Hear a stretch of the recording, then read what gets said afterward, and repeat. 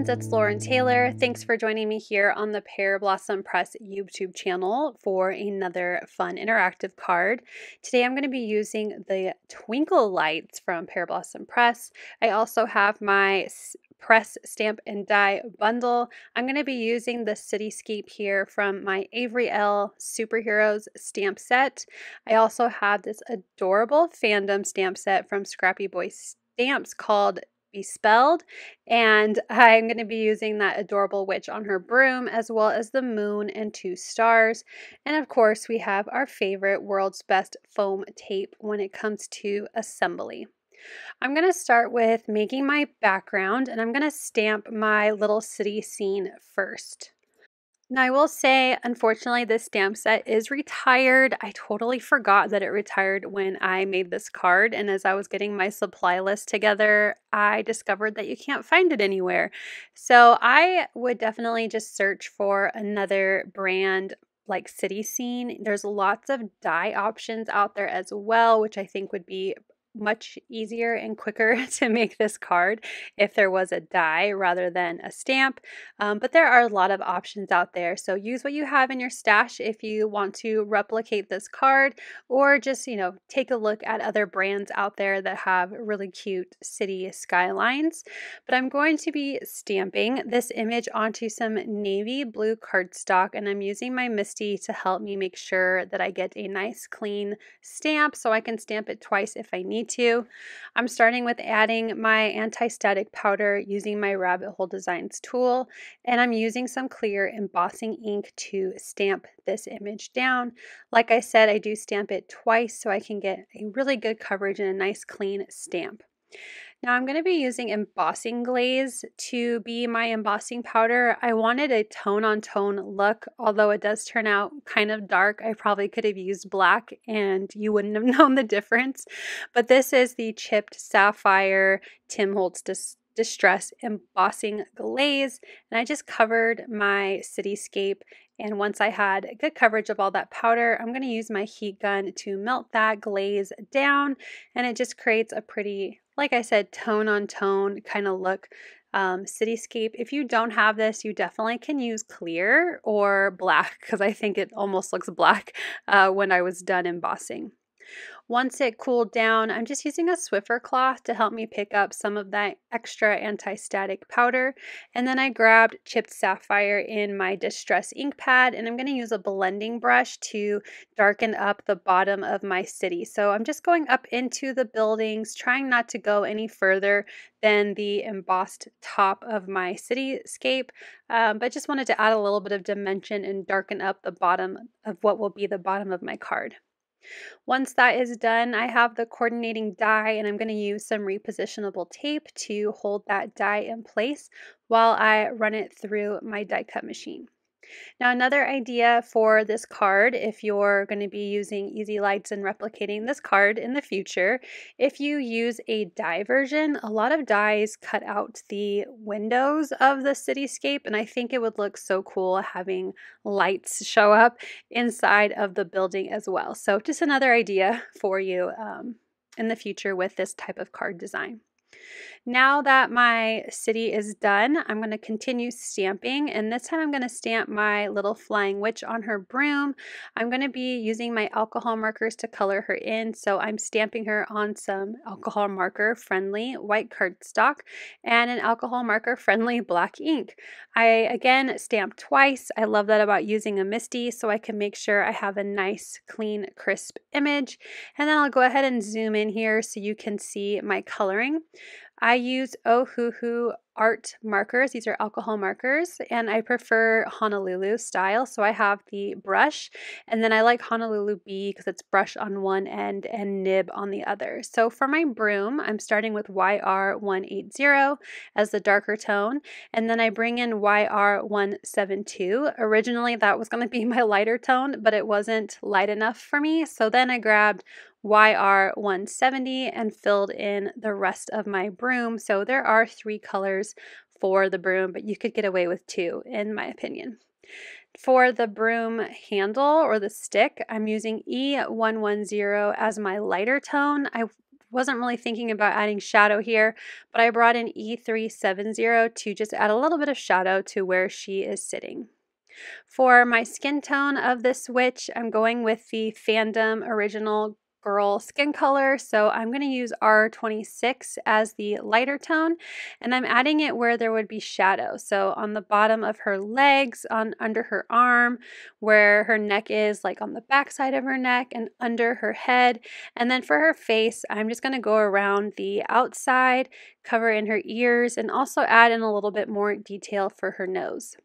The midtone I'm using is R29 and I'm going to fill in her arms and legs and neck and ears, but only bring it in a little bit more, increasing that shadow on her face. So just bringing in that color more, but I will use one more color to finish off her skin tone. So I wanted the center of her face to be kind of the lightest glowy part of her face. And the final color I'm using is R18, which is a nice peachy tone. So I went ahead and went over her arms and legs. I think I forgot her neck, but I would do her neck and ears as well. And then for her face, I'm using it to blend in those two shades and bring that color into the center of her face and then also blending out that nose line that I created a little bit. So just wanted that glow of her face to be the center of her face.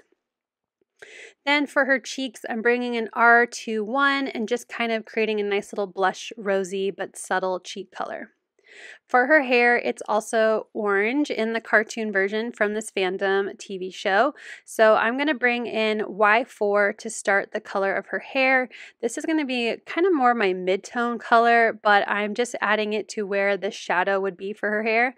And then I brought in YR170 as my darker tone and just adding a little bit more to that shadow. And then finally, the lightest color that I will bring in and just completely color in all of her hair is YR110. I wanted it to have that kind of orange but yet blonde, I guess like a strawberry orange blonde hair, if that makes sense. Uh, so just really trying to saturate my paper and color in and blend all those different shades together with this final light color. For her hat and dress, it's going to be black, but I don't color with black. I color with darker grays. So I'm starting with NG09. I completely colored in her shoes and the underside of her hat, but this will be the shadow, the darkest color for the rest of her hat as well as her dress and cape. I'm only going to show how I colored in her hat so you don't have to see me use the same color combination for too much longer, I just wanted to show you the three colors that I used. So after that uh, lay down of the darkest shadow, my mid-tone is going to be NG07, and then my lightest color will be NG06, and I'm going to use that to be kind of like the highlight area of her hat and her dress and her cape. Finally, I'm going to bring in some red colors to finish off her broom and hat.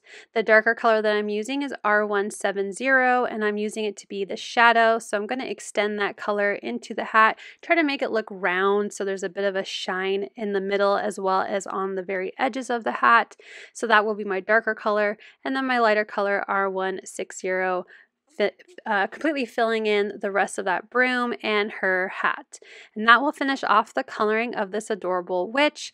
I do use a white gel pen to add a little bit of highlights just where I think it would look nice as well as like the little apples of her cheeks. And then I'm using the coordinating die to cut her out. Again, using some mint repositionable tape to keep that die in place while I run it through my die cut machine. So I'll go ahead and set her aside, but I'm, you know, really playing with the idea. I'm really excited of how this card is going to come together. Next, let's move on to making our background. I'm going to add some Distress Oxides to create a night sky.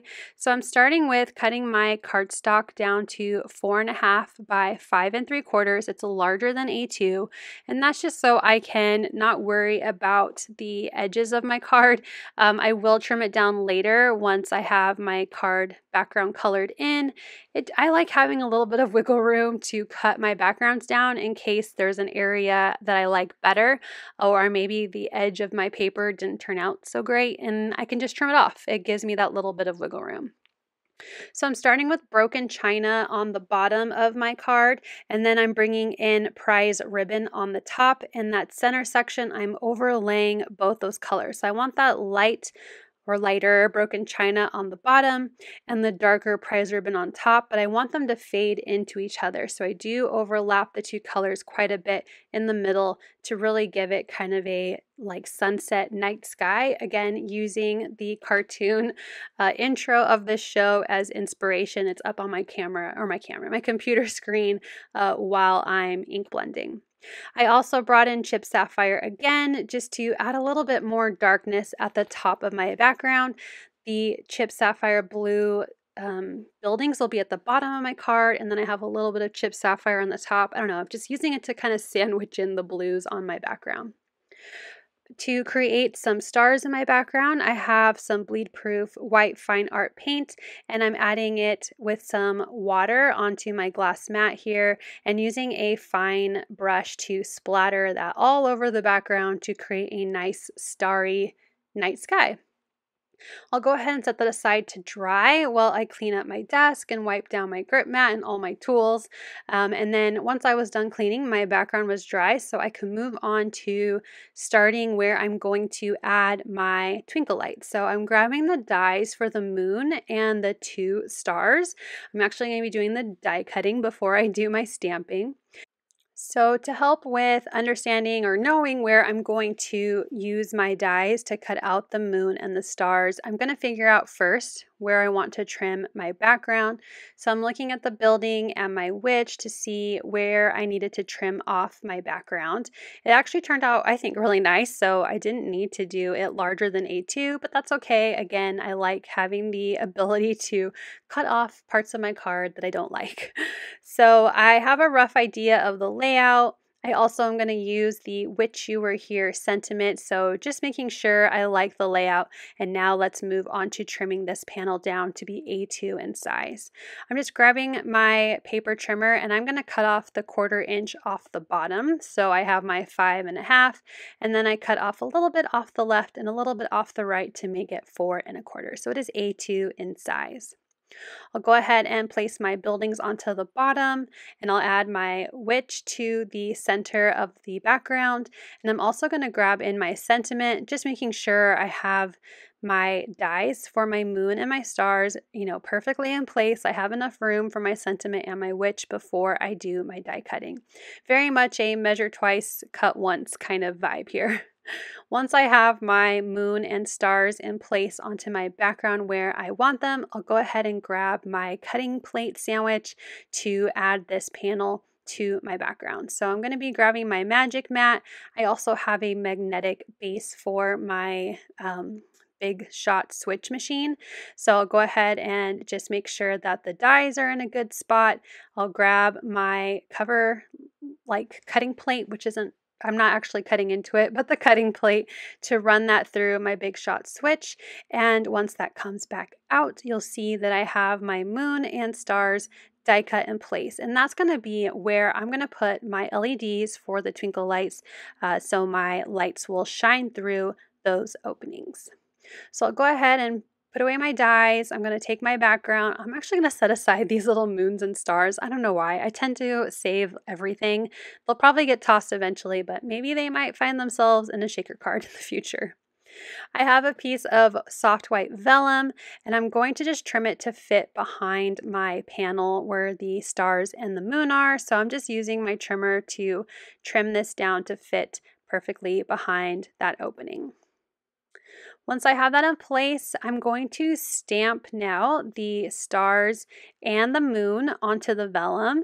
And I'm going to use my clear embossing powder again and some more embossing glaze. This time I'm going to use squeezed lemonade. I want some yellow stars and a yellow moon. But I'm going to use my panel that I die cut with the vellum behind it to line up exactly where those stars and moon need to go. So I went ahead and didn't I cut out the parts where I'm putting the stamps inside of the openings of the die because my head was covering it anyway. I was leaning over to make sure that those stamps were perfectly aligned. But I went ahead and stamped them with my clear embossing ink and now I'm grabbing the embossing glaze to add the yellow, again squeeze lemonade, to those images. Once I get the powder covering them, I'll go ahead and put my powder away and then use my heat gun, just like I did with my buildings, to melt that powder down. I'm going to add my double-sided adhesive now, but I'm going to set it aside because afterwards I will need to mark where my LEDs need to go. I'm happy that I remembered before adding the uh, vellum behind my panel. I tend to do that a lot, so I was happy that I caught myself. But I'm trimming my vellum so I don't have to worry about lining it up perfectly. Um, I'll use the images and the die cut openings to line them up, but I didn't want to have to worry about vellum sticking out any of the sides just in case, you know, just making sure that it hides behind the front of my panel.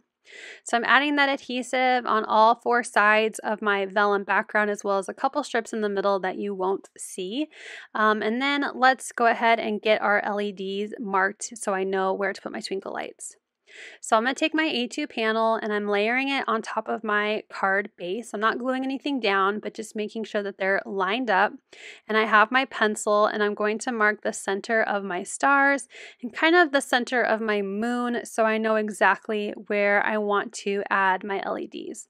So I'll go ahead and take out one of my twinkle lights. I have a five pack, but Pear Blossom Press offers the twinkle lights in a two pack, a three pack, and a five. So I have my twinkle light and the battery. I'm going to get some tape ready. I like to use clear scotch tape when um, tacking down my LEDs. Of course, I got to put the battery in and make sure it's working. This will be the first of many times you see me test my EZ Lights. Um, and I'll go ahead and follow the pencil marks that I made to place the LEDs. So just one at a time lining up the LED, making sure it's facing up, right where I made my little pencil mark, and then using my tape to secure the LED wires in place. So after I get all three of those added down, um, I'm not going to attach my press button yet. I'm going to show you another way to make sure that you have your push button lined up perfectly uh, once I'm done getting all of these LEDs in place. Um, so I've done the first two. Here I am making sure my third one is in place. And I'm also trying to make sure the wires aren't going to show. Um, it won't be very obvious. Now I do, will have vellum underneath so you won't see anything, but just trying to angle my wires so I don't have to worry about them accidentally showing up uh, in the opening. So now I will peel off all the release paper from the adhesive on my vellum piece. I did add the vellum on the same side as my embossing powder because I'm going to adhere it to the back side of my panel.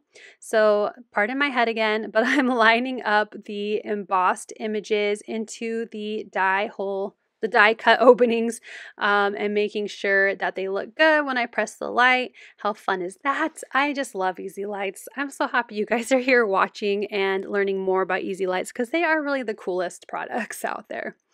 I have a yellow alcohol marker and I'm coloring in on the back side of my images, the moon and the stars, just to help make them look more yellow. So now we're going to do some stamping. Before I do that, I will glue on my cityscape to the bottom of my panel so I can make sure that I stamp my sentiment and my press um, stamp image, sentiment, I guess, uh, to my panel. Um, I just want to make sure I have them placed in a good spot. So I'll go ahead and glue my buildings onto the bottom of my panel.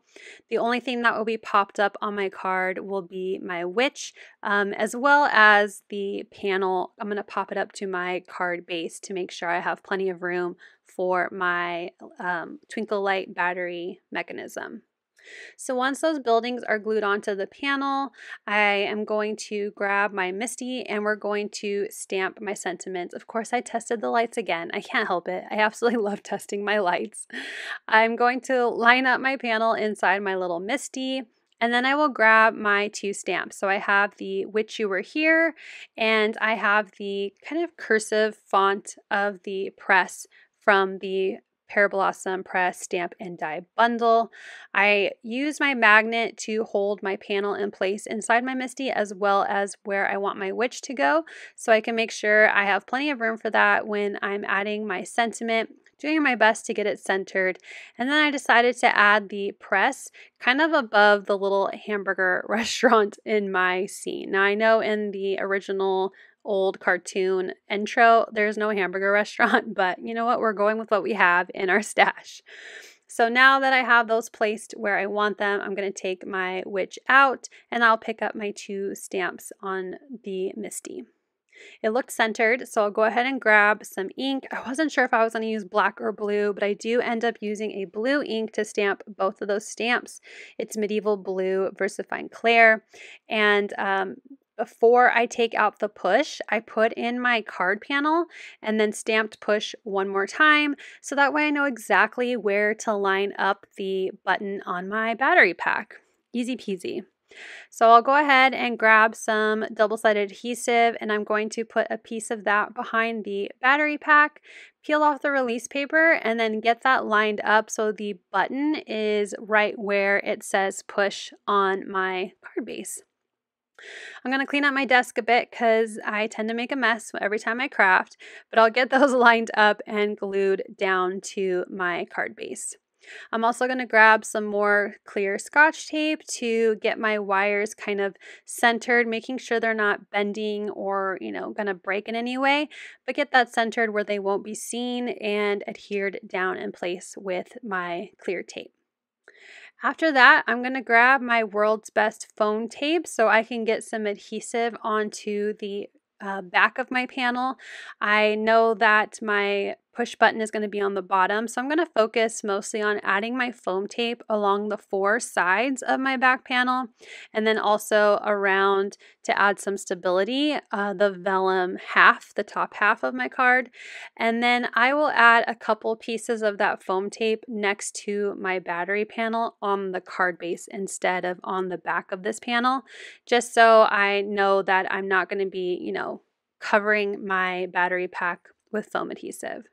So once that's all done, I peeled off all the release paper and then I'm going to add this panel to my card base. I love that the world's best foam tape is repositionable for a little bit.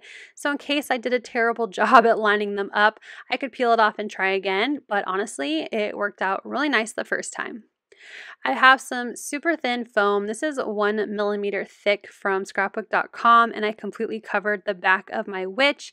I wanted her to pop up, but I already have plenty of dimension because of my world's best foam tape. So I used a thin foam to pop up my witch to the center of my card, fitting her in between the moon and the stars and my sentiment.